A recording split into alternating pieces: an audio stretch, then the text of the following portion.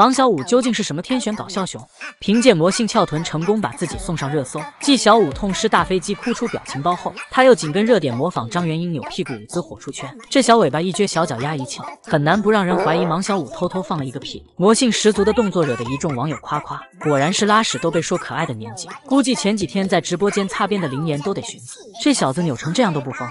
别看王小五在老妈爱的教育下长大，从小挨的打掰着手指都数不过来，可这也一点也不耽误小家伙聪明。古灵精怪的他，小小年纪就学会用三十六计。当外公抱着一大堆竹子给盲仔加餐时，目睹全程的小五趁其不备开始搞事情，一溜烟跑到内舍不见熊影。这小子临走之前还不放心的回头一看，还是个小糯米团子的盲小五也很机智，墩墩奶爸将小家伙抱出来晒太阳。哪曾想他身在曹营心在汉，小五表面上和奶爸玩的热火朝天，实际上暗戳戳埋下回家找老妈喝奶的种子。等墩墩奶爸放松警惕，他便扭头跑回家。这天到了下班时间，小五屁颠屁颠的在馆长身后，却不料对方拿出一个大扫帚，不想弄脏熊皮大衣的他赶忙刹住车，还撤回路线，爬到树上躲避灰尘。直到馆长拿着扫帚离开后，他这才下树回家。谁能想到芒小五如此会察言观色、审时度势？这小家伙的性格也是一点也不服输。当宝贝躺木架上睡午觉时，结果因为一个翻身，差点从高处摔下。换做其他小熊会选择摆烂，直接往地上一躺，但芒小五拼尽全力抱住木桩。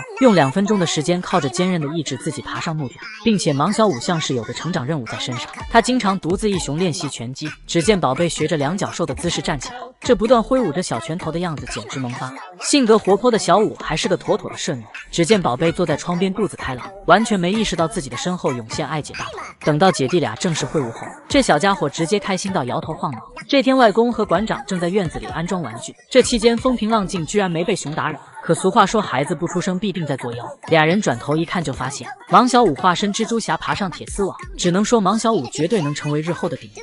如此活泼可爱的搞笑男，谁能不爱？大熊猫饲养员入职前后的差距究竟有多大？虫洞这几天又又又来帅气奶爸。只见饲养员满脸笑嘻嘻，抱着竹子放到大门口，一出场就引起四喜丸子轰动。几个小家伙像流氓般目不转睛地盯着奶爸看。没想到八卦天团在野花痴方面也这么懂。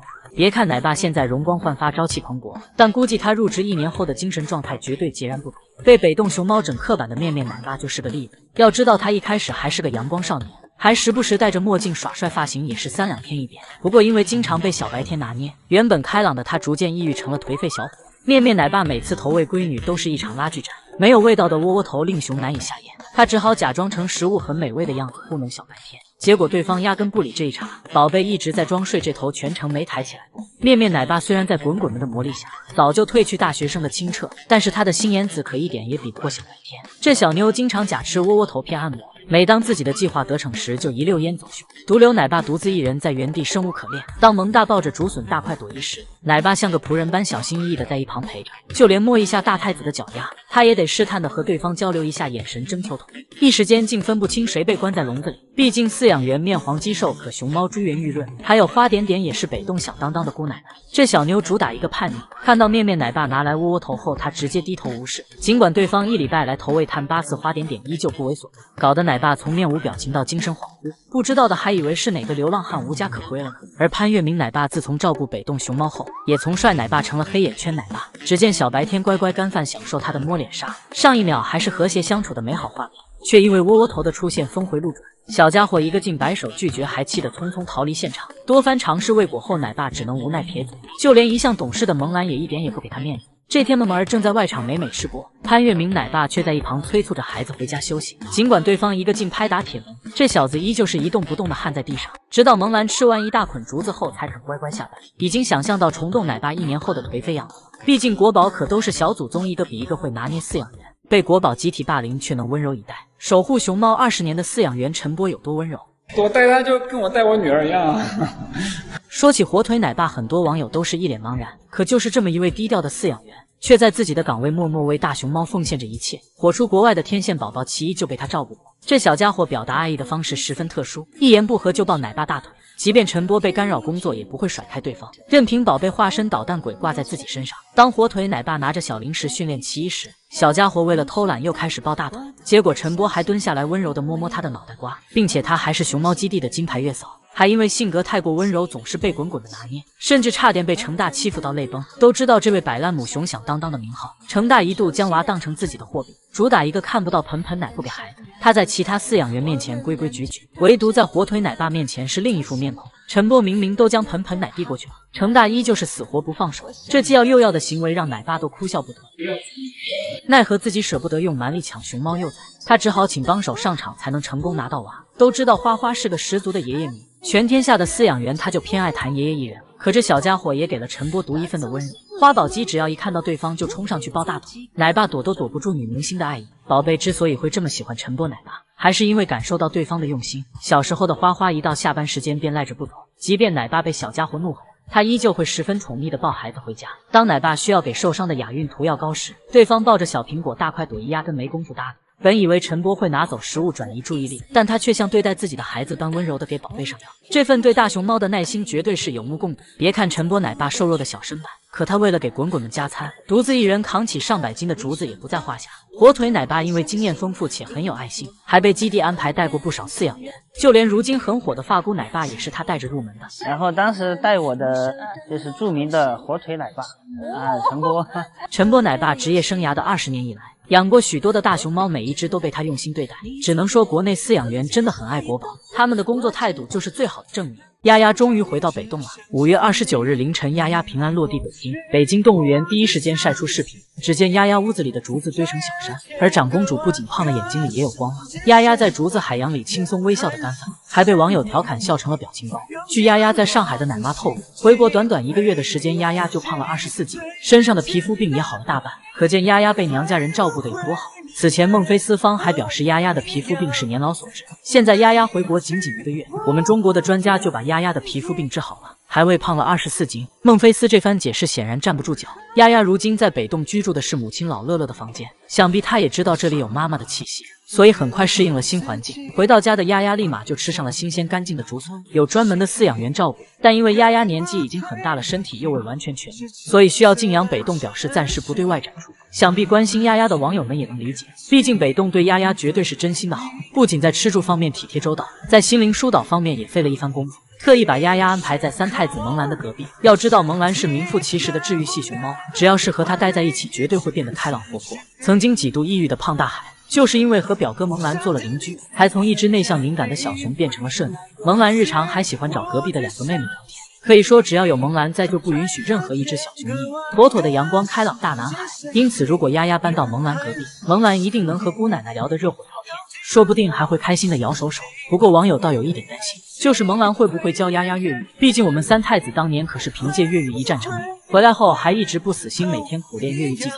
木叔拿来新的玩具，萌兰估计也会第一时间跟丫丫分享，所以我们坚信有奶爸奶妈的精心照顾，以及萌兰这个小熊精的心理疏导，丫丫一定能在北洞度过幸福的晚年生活。今天是梅兰肉肉的七岁生日，奶爸一大早就来到场地布置肉姐的生日宴，粉丝们也在门口等候已久，要给寿星庆生。门口还立着肉肉和妈妈梅邦的合照。二零一六年五月二十九日，大熊猫梅邦生下唯一的女儿梅兰。小时候的梅兰就比别的熊猫个头大上一倍，也很能吃，所以粉丝给它起了个外号叫梅菜扣肉，肉肉自然就成了梅兰的小名。小时候的肉肉虽然个头大，脾气却出了名的好，被其他小伙伴当成肉垫也不生气。这天肉肉正趴在地上睡得正香，忽然圆月走了过来，毫不客气的直接踩在肉肉身上，肉肉却趴在那儿一动不动，甚至连点表情都没有，好像已经习惯了这样。没过几分钟，圆月又回来了。再次毫不犹豫地从肉肉身上踩过去，肉肉还是一点反应没有。就这样来来回回好几次，肉肉都无动于衷。圆月就更加得寸进尺，直接一屁股坐在肉肉头上。没想到这小家伙瞌睡这么严重，